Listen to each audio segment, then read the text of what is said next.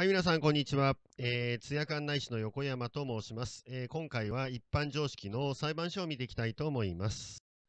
えーまずですね、えーっと、司法権の帰属ということなんですが、日本国憲法にですね、あのまあ、司法権について、あの書かれてまして、あの規定されてましてですね、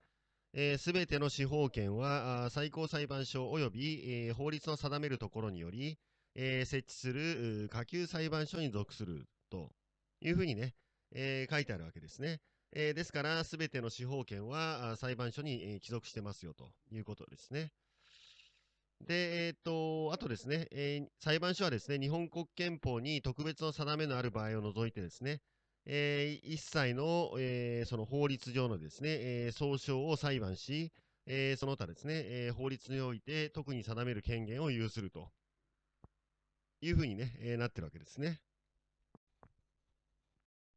えー次にですね、特別裁判所の禁止ということで、えー日本国憲法にですね、えー特別裁判所っていうのをですね、えー設置してはいけませんよというふうに書いてあるわけですね。えー特別裁判所はこれを設置することができないということですね。で、あのなんでね、その特別なその裁判所を作っちゃいけないのかということなんですが、えー日本国憲法がですね、特別裁判所を禁止している趣旨としては、その法定の平等ですね。えー公平平等の原則ですね、えーあとは司法の民主化、法解釈の統一を考慮したものということでですね、まあ特別にその、なんて言いますか、あのー裁判所作っちゃうと、まあ平等に反しますよね。例えば男性だけの法律あの裁判所とか、あとはそうですね、お金持ちだけのね、えーその裁判所とか作っちゃうと、あのーまあ、平等原則にね、反しますし、かつ、その、まあ、法解釈もね、バラバラになってしまいますよね。えーですから、そういったね、特別裁判所っていうのはね、あのー作っちゃダメですよ、ということですね。えー日本国憲法による特別裁判所とは、特定の地域、身分、えー事件等を対象として、えー通常の裁判所、通常裁判所の系列から独立して、えー設置される裁判機関を言うのでと。えー最高裁判所の系列下にある家庭裁判所や知的財産、えー高等裁判所はこれに該当しないということですね。えーあのまあ、特別裁判所は作っちゃいけないんですけども、例えばですね、えー今出てきました知的財産高等裁判所っていうのは、あの要はその特許とかですね、そういった、あの知的財産を扱うまあ裁判所なんですけども、まあ、これはですね、あまあ趣旨からすればですね、あの別にその平等原則とかにですね、えーまあ、反しませんから、あくまでもこれは手続き上のですね、実務上にその、えーまあ、作ってるわけですから、あの特別裁判所には該当しないということになります。えーあとですね、えー憲法上の例外としまして、えー公の弾劾によるですね、罷免の訴追を受けた裁判官を裁判するですね、えーために国会に設けられた弾劾裁判所っていうのはですね、えーこれは例外にあたって、まあ、これはあの一応憲法上ですね、まあ、認められてるわけですね。あの憲法上認められているというか、えっと例外として認められているわけですね。えー次にですね、行政機関の終身での裁判の禁止ということでですね、えー日本国憲法はにですね、えー行政機関は終身として裁判を行うことができないと規定されているわけですね。まあ、これはよろしいかと思いますね。まあ、いわゆる三権分立でですね、その行政権とその、司法権というのは分けてますけども、もし行政機関がですね、裁判を行っちゃったら、あのーまあ、三権分立のね、意味がないですよね。えーつまり、あのー例えばですね、その内閣があ裁判を行っちゃったらね、意味ないですよね。あの意味ないというか、その、権力、三権分立の意味ないですから、あまあ、そういうふうに規定されていると。えーただですね、えー終身としてですから、終身でなければですね、えー行政機関が準司法手続きを行うことができるということでね、まあ、行政審判とかはね、一応認められているということになります。えー次にですね、裁判所の構成ですね。えー裁判所は全国に一つの最高裁判所ですね、最高裁と下級裁判所からなるということですね。で、最高裁判所っていうのは、えー全国にただ一箇所ね、東京都に設置されるということで、えー今です、今ですとね、あのー国会議事堂の近くにね、あの、ありますよね。えー皇居の、まあ、横ですけども、最高裁判所のね、あの、グレーのビルが建ってますけどね、えーまあ、全国に一箇所あるということですね。まあ、最高裁判所ですからね、あの2個も3個もあったらね、大変なことになりますから、まあ、1個しかないということですね。えー、で、下級裁判所にはですね、えー、高等裁判所、えー、地方裁判所、家庭裁判所、簡易裁判所があります。まあ、それぞれね、略して高裁、地裁、えー、火裁、えー、関裁ってね、まあ、略したりしますけども、えー、まあ、そういうのがあると。で、あとですね、えー、2005年に知的財産権に関する事件を専門的に取り扱う裁判所として、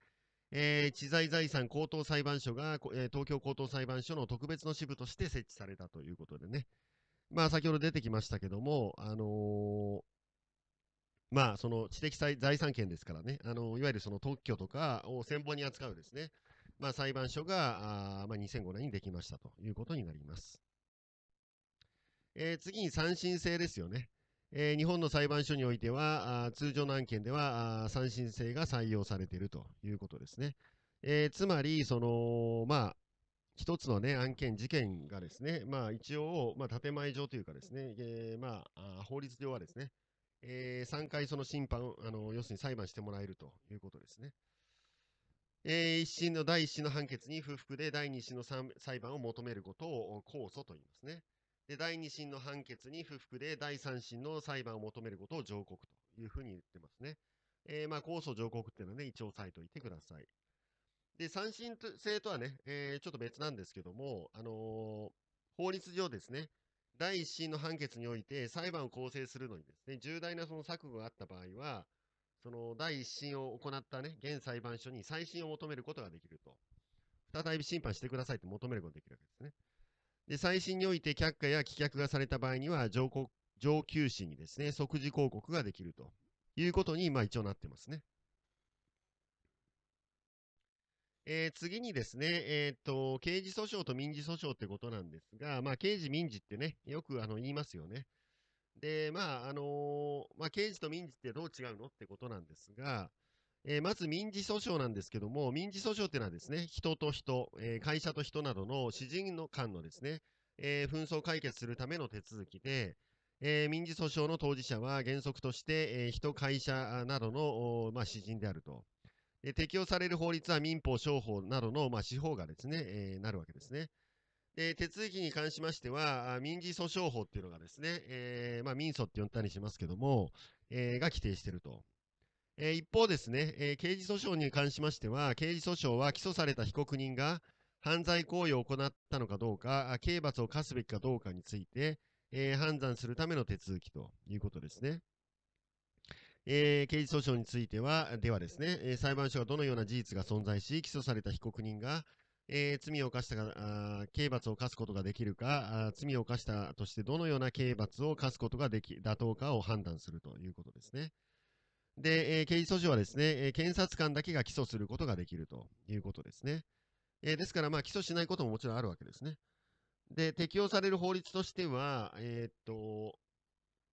刑法ですね。あとは、まあ、覚醒剤取締法、大麻取締法、銃刀法などですね。まあ、こういったですね、法律が、まあ、適用されると。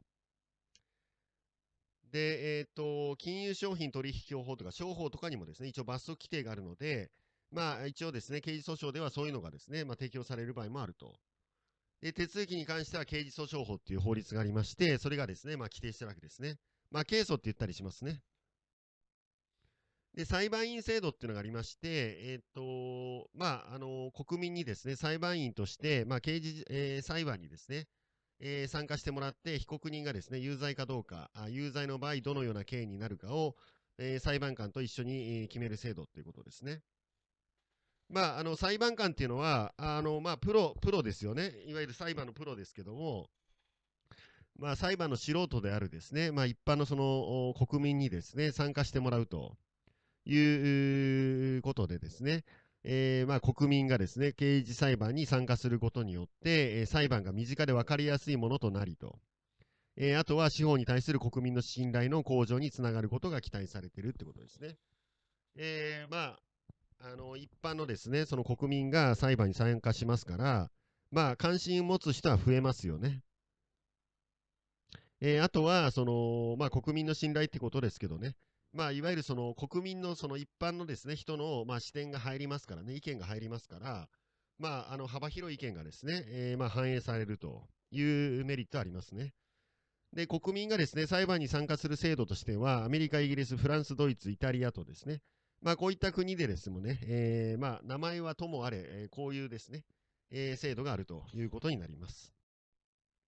えー裁判員制度の対象となる事件の例ということで、えーまあ、ずらずら書いてありますけども、まあ、あの比較的ですね、あのーなんて言いますか、こう重大なね、えー事件に、えーおいてはですね、えーまあ、参加するということですね。